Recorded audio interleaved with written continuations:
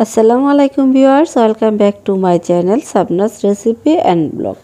চলে এসেছি আবার নতুন একটা রেসিপি নিয়ে, কাশ্মীরি চিকেন মশলা, যেটা কিনা ঘরে থাকা উপকরণ দিয়ে খুব সহজেই রান্না করা যায়। তো আশা করি আজকের রেসিপিটি আপনাদের ভালো লাগবে। তো চলুন রেসিপিটি দেখে নেওয়া যাক। আর চিকেনটা খেতে কিন্তু অসম্ভব মজা।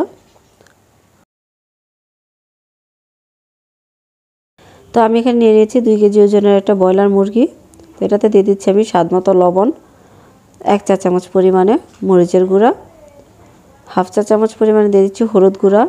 এবার হলুদ মরিচ গুঁড়া দিয়ে আমি মুরগি চিকেনটাকে খুব ভালোভাবে একটু মেখে নিচ্ছি। তো চিকেনটা মাখা হয়ে গিয়েছে, তো এবার আমি একটা ফ্রাই প্যানে দিয়ে দিচ্ছি ভাজার জন্য তেল। আমি এখানে হাফ কাপ পরিমাণে তেল দিয়ে দিয়েছি। তো এবার তেলটা গরম হয়ে গেলে এবার আমি দিয়ে দিচ্ছি এটাতে মুরগির পিসগুলোকে।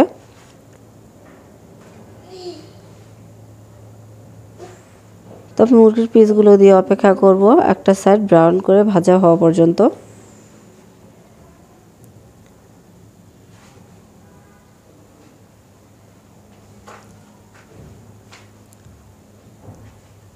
তো কিছুক্ষণ পরে আমি এটাকে উল্টে দেখে নিচ্ছি। তো দেখুন ব্রাউন করে ভাজা হয়ে গিয়েছে। তো একটা সাইড আমি উল্টে দিচ্ছি।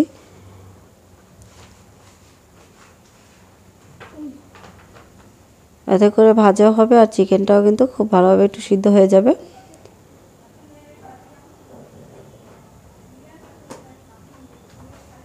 একে একে আমি সবগুলো চিকেন উল্টে দিয়েছি।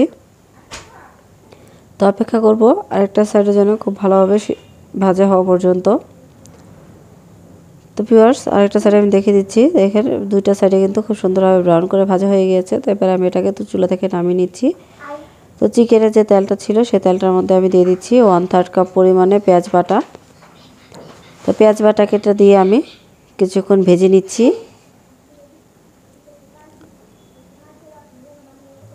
তো পেঁয়াজ বাটা দিয়ে কিন্তু অনবরত নেড়ে চেড়ে ভাজতে হবে, তা নাহলে কিন্তু এক সাইড থেকে পুড়ে যাবে, আর এক সাইডটা ভাজা হবে না। তো এবার এটাতে আমি দিয়ে দিচ্ছি দুইটা তেজপাতা, দেড় ইঞ্চি পরিমাণে দুইটা দারচিনি আর পাঁচ ছয়টি এলাচ। এর গরম মশলাটা দিয়ে আমি আবারও নেড়ে চেড়ে পেঁয়াজটাকে একদম বাদামি কালার করে ভেজে নিব। তো পিওর দেখতে পাচ্ছেন, পেঁয়াজটা কিন্তু বাদামি কালার করে ভাজা হয়ে গিয়েছে। তো আমি আরও কিছুক্ষণ একটু ভেজে নিচ্ছি।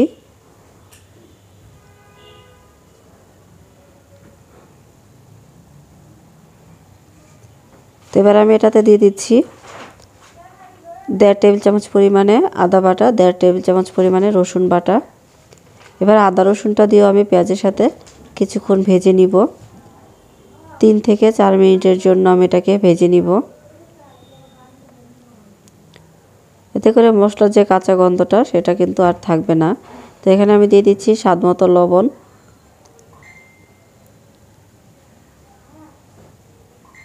তো অনবরত নেড়ে চেড়ে আমি এটাকে ভেজে নিচ্ছি।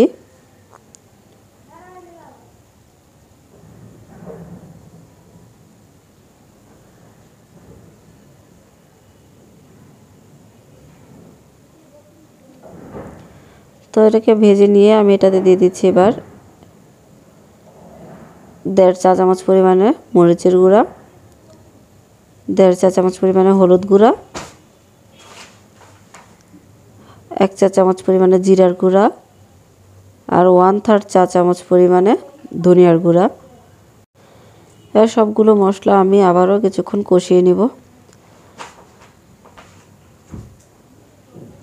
তো এবার আমি দিয়ে দিচ্ছি ওয়ান ফোর্থ কাপ পরিমাণে টমেটো পিউরি। আমি এখানে দুইটা টমেটো ব্লেন্ড করে নিয়েছি।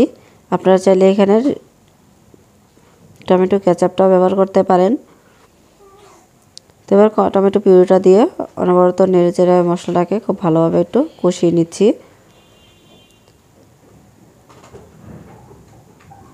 তো মশলাটা কষানো হয়ে গেলে এবার আমি এটা দিয়ে দিচ্ছি সামান্য পরিমাণে একটু পানি, যাতে মশলাটা সাইড থেকে পুড়ে না যায়। তো পানিটা দিয়ে আমি একটু নেড়ে চেড়ে দিচ্ছি। তো এবার অপেক্ষা করব মশলাটাকে আরও কিছুক্ষণ কষিয়ে নেওয়া পর্যন্ত। আমি আবারও চার থেকে পাঁচ মিনিট মশলাটাকে কষিয়ে নিয়েছি। তো মশলাটা থেকে তখন তেলটা উপরে উঠে আসবে। এবার যে আমি দিয়ে দিচ্ছি ভেজে রাখা মুরগির মাংসগুলোকে।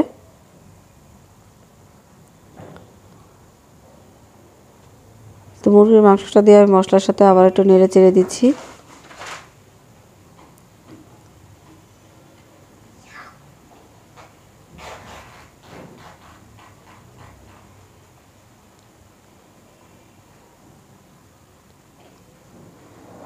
এবার আমি কিছুক্ষণ এটাকে এভাবেই রান্না করে নিব।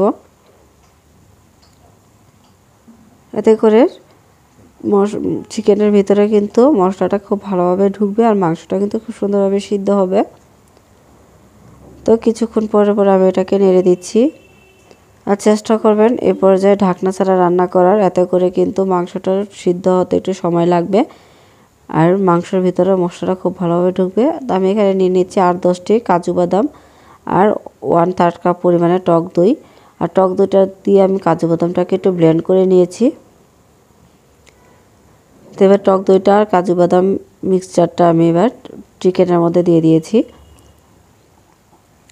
তো খুব ভালোভাবে একটু নেড়ে চেড়ে মিশিয়ে নিচ্ছি।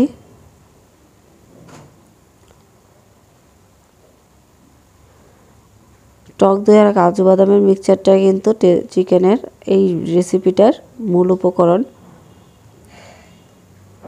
তো দুইটা জিনিস কিন্তু এই মশলা থেকে চিকেনটা রান্না থেকে বাদ দেওয়া যাবে না। তো কিছুক্ষণ আমি এটাকে কষিয়ে নিয়েছি। তো এবার এটাতে দিয়ে দিচ্ছি আমি চার পাঁচটি আস্ত কাঁচামরিচ।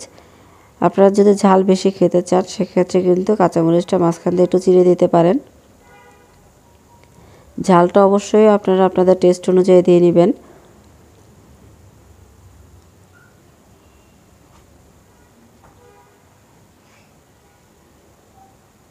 আমি আবারও একটু চিকেনটাকে একটু নেড়ে চেড়ে দিচ্ছি। সুন্দরভাবে যেন মাংসটার ভিতরে মশলাটা ঢুকে আর মাংসটা যেন খুব সুন্দরভাবে সিদ্ধ হয়। তো এরপর যে আমি দিয়ে দিচ্ছি একটু সামান্য পরিমাণে পানি। আমি এখানে এক কাপ পরিমাণে পানি ব্যবহার করেছি। তো পানিটা দিয়ে আবার মাংসটা একটু নেড়ে চেড়ে এরপর যে আমি একটা ঢাকনা দিয়ে ঢেকে দিব।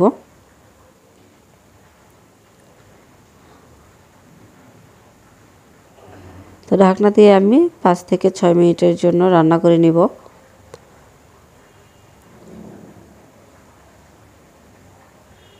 তো ফিরে এলাম ঠিক ছয় মিনিট পর। দেখতেই পাচ্ছেন, বলক উঠে গিয়েছে একটা সুন্দর। তো অপেক্ষা করব ঝোলটা যতক্ষণ পর্যন্ত না গ্রেভি হয়। তো ঝোলটাকে আমি গ্রেভি হওয়া পর্যন্ত চুলা রান্না করে নিব। তো ভিউয়ার্স, দেখতেই পাচ্ছেন ঝোলটা কিন্তু অনেকটাই গ্রেভি হয়ে গিয়েছে। তো আমি আর একটু গ্রেভি করে নিচ্ছি। আর একটু গ্রেভি হওয়া পর্যন্ত অপেক্ষা করব। এ পর্যায়ে চুলা রাসটা মিডিয়াম মিটে থাকবে। তো আমি তো এটাকে একদম গ্রেভি করে তারপর নামিয়ে পরিবেশন করে নিয়েছি। তো আশা করি আজকের রেসিপিটি আপনাদের ভালো লেগেছে। তো অবশ্যই রেসিপিটি বাসায় ট্রাই করবেন। আর ফ্রেন্ডস আর ফ্যামিলির সাথে শেয়ার করতে ভুলবেন না। এই কাশ্মীরি মশলা চিকেনটা কিন্তু পোলাও অথবা পরোটার সাথেও খুব টেস্টি হয় খেতে। তো ইনশাল্লাহ আবার চলে আসব আবার কোনো নতুন রেসিপি নিয়ে। সে পর্যন্ত সবাই ভালো থাকবেন। আল্লাহ হাফিজ। আসসালামু আলাইকুম।